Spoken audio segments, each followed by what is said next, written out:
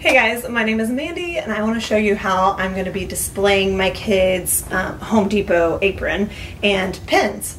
So if you've ever been to Home Depot on the first Saturday of the month and done the kids craft, um, right now during COVID season, they're just um, handing you like a package of them, and there will be like one of these little pins included that says what the craft was, and it's super cute because like shows a picture of the craft, and you can remember kind of like what you did that day. So they give you an apron if it's your first time, an apron if it's your first time, and the kids can wear them and have like you know they have little pockets. It's just cute and it's fun and we have a couple because I've forgotten them and the kids have, have gotten a second one. So with Marcus's, I wanted to put it on a board and I kind of cut it up, put it on the board and stuck the pins on just and use the backs like a regular apron. And I was like, oh, this is awesome.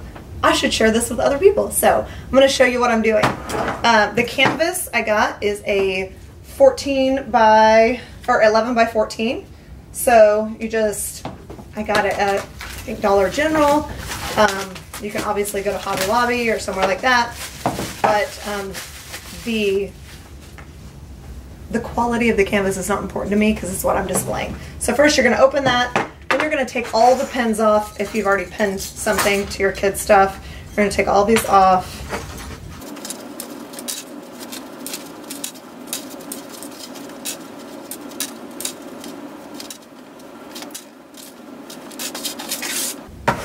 All right, the next thing I did was I kind of put it where I wanted to, where you could kind of see the Home Depot sign on the bottom and then the apron strings kind of wrapped around.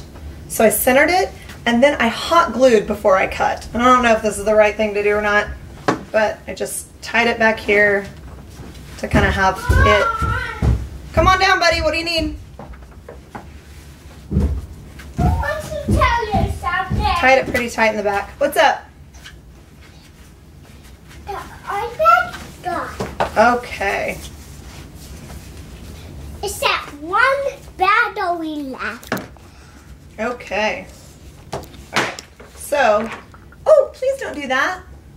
Um, don't do that, Baba. Alright, because I'm going to like glue it around the edges, I am just going to leave a lot of extra space and just cut this on the back.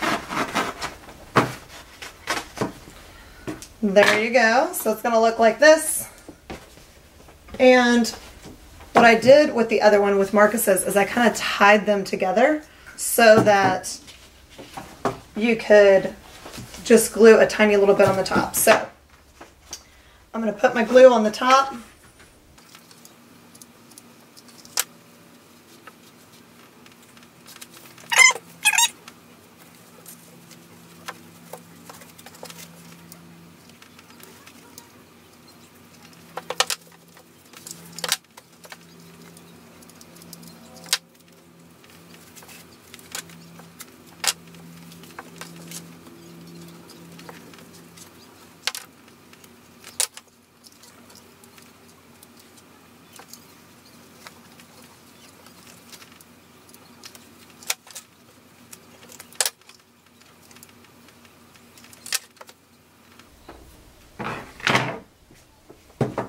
All right, and it is done. Now all you have to do is take the little pins and stick them back in. You might want to find the holes, I mean if there's like a lot of holes on it.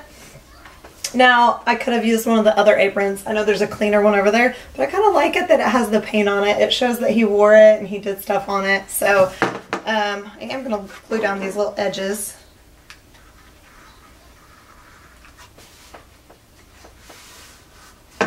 On both sides. And then stick all these pins back in.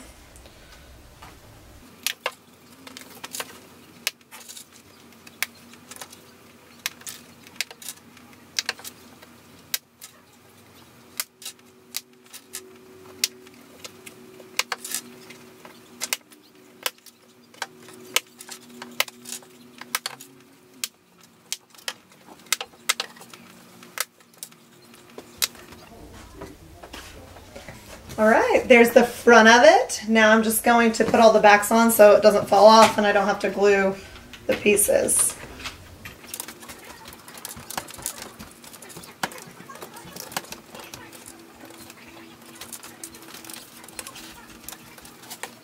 Ta-da!